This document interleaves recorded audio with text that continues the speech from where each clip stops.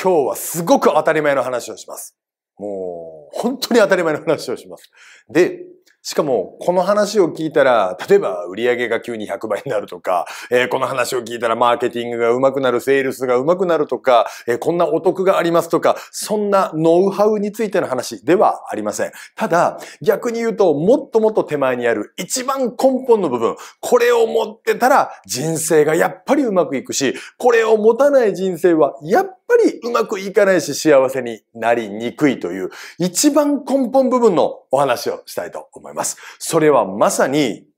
自分を信じろ。びっくりするぐらい圧倒的に自分をまず信じようっていうお話ですよね。もう何を当たり前のこと言うてんねんって話だと思うんですけれども、やっぱり何をなす上においても自分にはできる、絶対できると思って歩む人生と、どうせできねえんだろうなって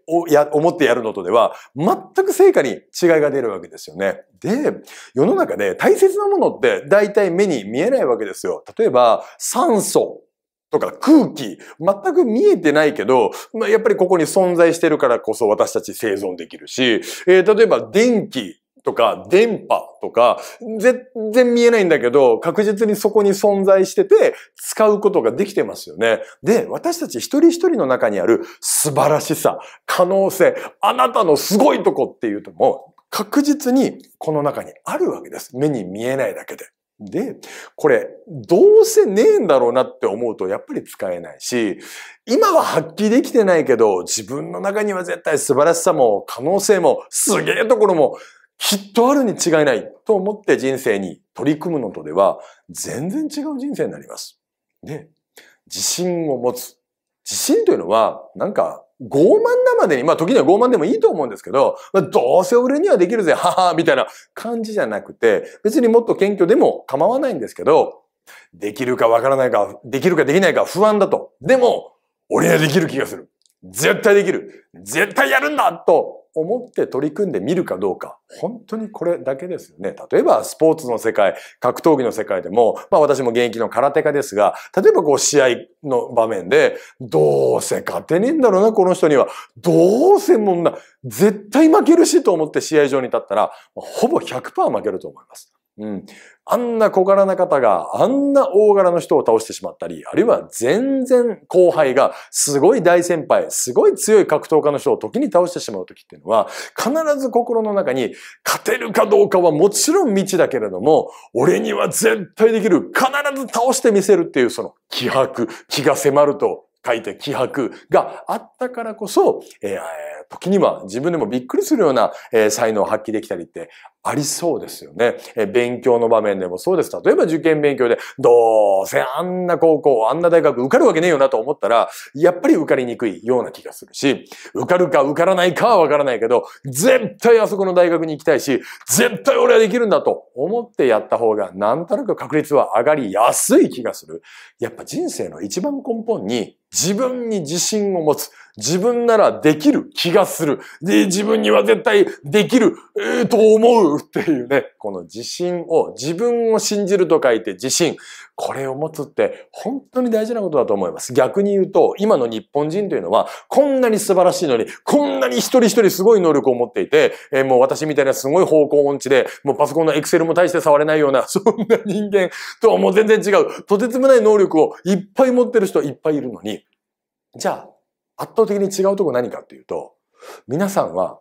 あ例えば人生うまくいってない方っていうのは、ドヨーンと、どうせ俺には無理だよ。いやいやいやいや、ヒロさんそんなの無理ですからって、私はもう全然そんな大したことないんでって言ってる方とかは、やっぱり人生がつまらなそうだったり、別にそこそこの能力しかないし、別にもう容姿もまあ見た目も中身もそこそこ月並みであったとしても、なんか俺にはできる気がする。俺にしかできないことあるんじゃないか。いつか時代が俺を必要とする日が来るんじゃないだろうかって言って、勘違いしてる人間は、結局なんかそういう出番が来たりですとか、これは面白いですよね。本当に世の中の、いわゆる成功哲学とか、成功者、もう大経営者とか、いろんな方のこう本とか、あるいは動画とか見ていても、自分に自信がない方が人生はうまくいくって言ってる人は誰もいませんよね。謙虚さは大事とか、自分に自信がなくても人生がうまくいくことはあるよっていうことを言ってる人はいますけど、もう自信なんかない方がいいって言ってる人は誰もいません。あるならあった方がいい。むしろあった方が絶対人生ってうまくいきやすいよ。可能性が開きやすいよっていうことですよね。だから、まずは皆さんに本当に根本部分として自分に自信を持てるようになってほしいし、それは誰の何の許可もいらなくて、まず自分で今どんな惨めな状況であろうが、どんなに人生がうまくいってなかろうが、あなたは絶対できるし、私はできるんだって思ってもらうことから始めてもらったっていいと思います。まあ、とはいえ、そりゃ、津田、そんなお前、綺麗事言うなと、そうは言ったって俺は、俺に自信がねえんだっていう方も、それはいらっしゃるかもしれないんで、今日はポイント最後1個だけ。これを変えるだけでも、自信ってちょっとついてきますっていうね。これまで、え動画の中でもたくさんお話ししてきました。まずは自信なくてもちょっと胸張って歩いてみようよとか、目だけでもドヨーンとせずに、キラッとさせて歩いてみようとか、うん、あるいは笑顔の力使ってみよう、動きの力使ってみようっていうことも言ってきました。これまでの動画ではお話ししてない、これをやっとけばまた自信がつきやすくなるという、私たちの脳にめちゃくちゃ作用するそのポイントとは、口癖です。口癖。セルフトークって言い方もしますけれども、やっぱり私たちは無意識のうちに脳内でも、俺にはどうせ無理だ。ああ、今日も惨めな一日だったって、本当に言葉に出すかどうかは別として、脳でそういうメッセージをずっと自分に与えていたりするわけですよね。だからまずは自分の口から出す言葉だけでも変えてみる。セルフトーク、口癖というものが、どれぐらい私たちの脳やあるいは心、そして人生に影響を与えるかということは、たくさんのえ海外も含め、日本も含め、いろんなえ口癖に関するこれが有効だよということをえ言ってる論文だったり研究だったり成功者の本だったり、たくさんありますが、本当にそう思います。私自身も、えー、例えばミュージシャンの頃っていうのは、これお恥ずかしい話なんですけど、それがかっこいいと思って、マイナスの言葉ばっかり言う傾向にありました。まあ、例えばですけど、なんかミュージシャンって、ロックミュージシャンって、何でもかんでも、えー、プラスの言葉使ってるよりも、は、そんなのクソだなとか言ってってる方がちょっとかっこいいみたいなとこあるじゃないですか。もうお恥ずかしいことに20代の頃は、そういうなんかマイナスな言葉、ちょっと汚い言葉を使ってる俺ってかっこいいみたいな、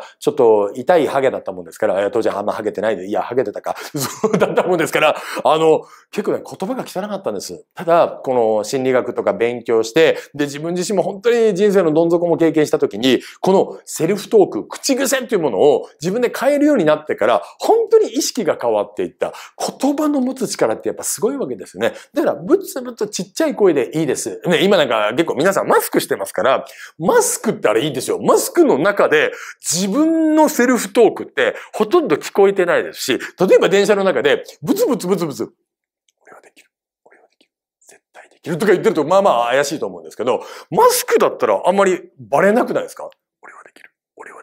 絶対できるみたいな感じですよね。そう。で、しかも、あの、電車でガタンガタン言ってたら、まあ、満員電車だとちょっと聞こえるかもしれないけど、別に電車ガタンガタン言ってたら、そう聞こえるものでもないですし、私もかつて、もう一年中、もう365日、24時間の勢いで、プラスの言葉を自分に意識しようってしてた時は、意図的にマスクしたりしました。うん、当時も仕事中も、まあ介護の仕事をやってたり、スーパーマーケットで働いたりしてたんで、別にマスクしててもおかしくないわけですよ、全然。なのでマスクの中でもずーっとプラスの言葉、ありがとう、ありがとう言ってみたり、愛してる、愛してる言ってみたりとか、ね、俺はできる、絶対できるみたいなことをずーっと言ったりしてました。すると何が起こるかっていうと、人間の脳というのは面白いもので、やっぱり自らが発している言葉にすごく影響を受ける。例えば嫌なことがあった時に最悪やって言ったら当然最悪な脳の状態になりますし、すごい嫌なことがあっても、おお最最高って言うと、脳がいい意味でバグって、ちょ、待て、何が最高やねんって言って、ちょっとプラスの方向に引っ張られるっていう脳がすごく素直で、えー、優しいというか、なんか影響を受けやすいところすごくあるわけですね。脳さんっていうのは。なので皆さんが本当にブツブツブツブツちっちゃな声でもいいし、なんならもうつぶやき、ほとんど音も出ないぐらいでも構いません。なんなら思うだけでも構わないですが、まあ、口にするとやりやすいと思うんですが、セルフトークを変えてもらう。俺はできる。絶対できる。俺にはできるんだ。俺には可能性がある。俺はできる。俺は素晴らしい。俺には価値がある。何でも結構です。自分がしっくりする言葉で、え自分自身にその言葉をずっと言ってみたりとか、あと、僕の友達でよっちゃんっていうね、あの素晴らしい方がいるんですけど、この方なんかはすごくあの変態でですね、あの、自分でずっとプラスの言葉を言うのはまあまあ大変だから、自分であの、何でしたっけ、あの、携帯のスマホの録音機能を使って3分ぐらい俺はできる、俺はできる、俺はできるって録音しておいて、それをひたすらこう耳で聞くっていう言言葉のスピードラーニングとかってやってる人もいましたけど、やっぱね、でもそれも彼すごく自分に自信がない人だったんですけど、その自分で自分に言ったプラスのことを延々とこうリピート再生して聞いてたら、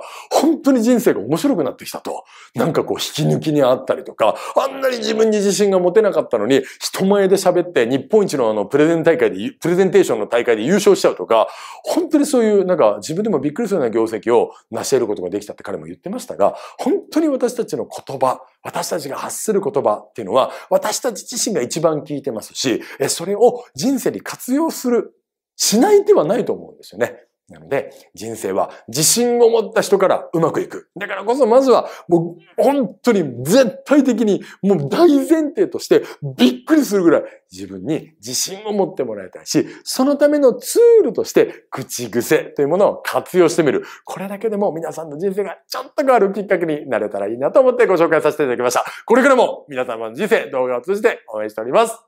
いってらっしゃい。YouTube ご覧いただきましていつもありがとうございます。ヒロのメルマガヒロメールはですね毎週月曜朝7時に皆さんが元気になる情報ほっこりする話感動する話、えー、お届けしてますのでぜひご登録の方お願いします。もちろん無料です。それではいってらっしゃい。